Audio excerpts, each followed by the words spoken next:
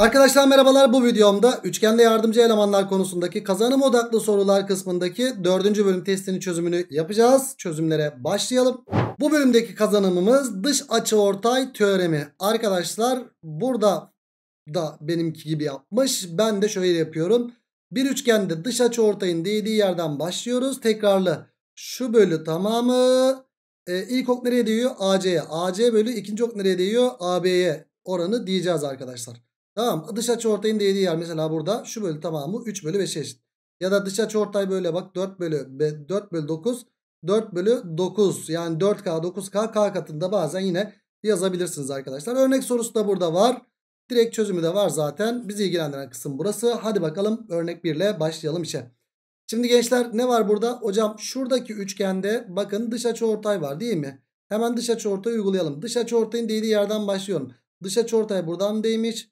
Hop şu bölü tamamı kaç? 2 bölü 5. Ha 2 bölü 5. E, hemen yazabiliyoruz. 2 bölü tamamı 5. 5K olacak. Bizden AC bölü yani 2K bölü Ali Bey uzun isteniyor. 5K isteniyor. Cevap 2 bölü 5 çıkar. Yani cevabımız Balıkesir oldu.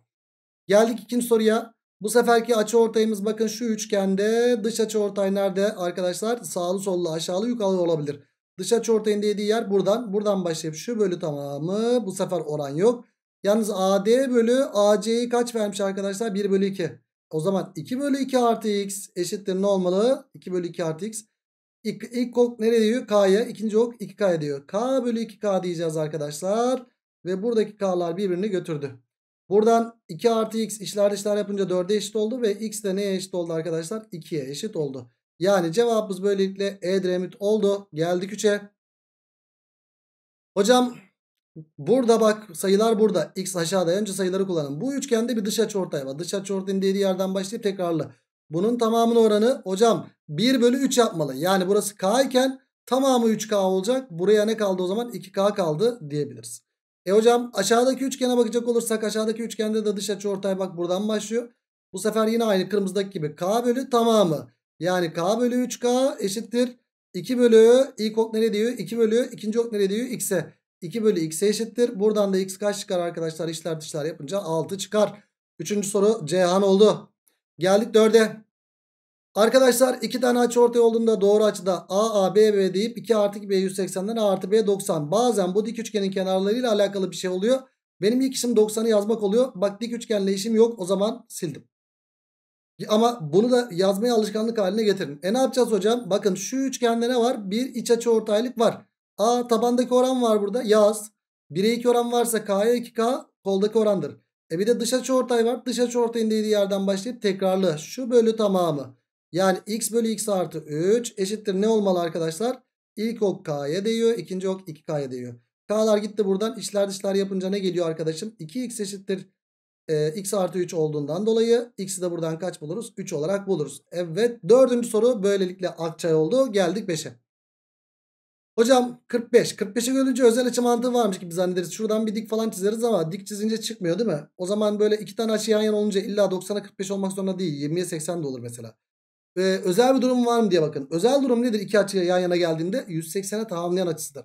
Mesela 90 45 daha 135. 180'e tamamlayanı kaç? Hocam 45. Oo, hemen 180'e tamamlayan açısını böyle gösterdim. Bir de buradan da gösteririz de burası da 45 yapıyor ama bu 45'ler işime yaramadı sildim. Şurada 45 çok güzel oldu. Öncelikle 3, 4, 5 üçgeni mi arkadaşlar bu? Evet. Bakın şu üçgende ne çıktı şimdi arkadaşlar? Bu üçgende bir dış açıortay çıktı. Dış açıortayın dediği yerden başlıyoruz. Tekrarla şu bölü tamamı yani x bölü x artı 5 eşittir kaç olmalı? 3 bölü 4 olmalı. Çünkü ilk okun senin 3'e değiyor. ikinci okun da 4'e değiyor. Buradan 4x eşittir 3x artı 15'ten x'i de kaç buluruz? 15 olarak, olarak buluruz. Evet 5. soru böylelikle denizli oldu. Geldik 6'ya. İkizkenar verilmiş. İkizkenarda bir yükseklik verilmiş. İkizkenarda verilen yükseklik hem açı ortaydır hem de kenar ortaydır değil mi arkadaşlar? Kenarlarla işim yok gibi duruyor. Burada 8'e 5 verilmiş. Burada da 10 verilmiş. X deniyor. He. Şimdi gençler hop şuraya bakar mısınız? Ne var burada? Hocam burada bakın şu üçgende. Bu dış açı ortay değil mi? Evet dış açı ortayın değdiği yerden başlıyoruz. Bakın bu dış açı ortay. Dış açıortayın dediği yerden başlıyoruz. Hop şu bölü tamamı. 10 bölü 10 artı x eşittir. İlk ok nereye değiyor? 5'e. İkinci ok nereye değiyor? 8'e. Hocam 5 ile 10 sadeleşse 2 kaldı. 2 kere 8 16. 10 artı x eşittir 16'dan. X'i buradan kaç buluruz? 6 olarak buluruz. Evet 6. soru böylelikle denizli oldu. Geldik 7. soruya. Şekil 1'de 3 metre yüksekliğindeki ABCD dikdörtgeni biçimindeki kanalın üzerinde bulunan 6 metre uzunluğundaki CD metal köprü resmedilmiştir. Şekil 2'de köprü D noktasından düşerek bir ucu kanaldaki F noktasına diğer ucu da G noktasına gelmiştir. Vallahi arkadaşlar kitabı bu kadar hızlı okuyamıyorum ha. Artık pdf'e bilgisayar alıştı abi böyle bakarken tövbe estağfurullah. Neyse maşallah diyeyim bari bir şey olmasın ha sıkıntı olmasın. Devam. Ee, burası 3 birim olarak verilmiş. Burası alfa burası 2 alfa verilmiş. Hmm, alfa ile 2 alfa arasında bir ilişki kuracağız. Şimdi buradaki uzunluk arkadaşlar tamam. Şuradaki uzunluk bak işin esprisi var. Bu tam burası merdiven uzunluğu. Ee, korkuluk mu artık merdiven mi neyse. O kadar hızlı okudum ki anlamadım. Neyse devam. Ee, buradaki uzunluklar buradaki uzunlukla buradaki uzunluk eşit değil mi? Evet. Hocam ben buraya bir A dersem burası A artı 2. Hocam burası A artı 2 ise merdivenin uzunluğu da A artı 2'dir. Hocam burası da A artı 2. A burası da 3 verilmiş. Hocam Pisagor. Hadi bakalım. A artı 2'nin karesi eşittir. 3'ün karesi artı A'nın karesinden. işlem işlem işlem. Anladınız olayı. 3 varsa ne üçgendir kardeşim? 3, 4, 5. Hocam A yerine 4 yazarsam burası ne yaptı? 5 yaptı mı? Yaptı. Hmm, tamam. 3, 4, 5'i yaptık. Buna gidiyor. C rampasının uzunluğu nedir diye soruluyor. Arkadaşlar biz burada ne bulduk? 2 alfa. 2 alfa ile alfa, arasındaki ilişkiyi kurmam lazım benim değil mi? Evet. E o zaman bir şeyler yapalım burada. Açıya da alalım o zaman. Şu alfa alfa diye paylaştırsam bir şey gelecek mi? Vallahi bir şey gelmiyor arkadaşlar değil mi? Özel bir durum gelmiyor. Ne yapalım? Alfa 90 ise buraya bir 90 eksi alfa diyelim bakalım. Aa burası da 90 eksi alfa değil mi arkadaşlar? Evet 180'e tamamlayan açısı. Bakın 90 eksi alfa. Yani burası ne çıktı arkadaşlar? Hop açı ortay çıktı. Bakın şu üçgende dış açı ortay oldu. Değdiği yerden başlıyorum. Tekrarla şu bölü tamamı n diyeyim.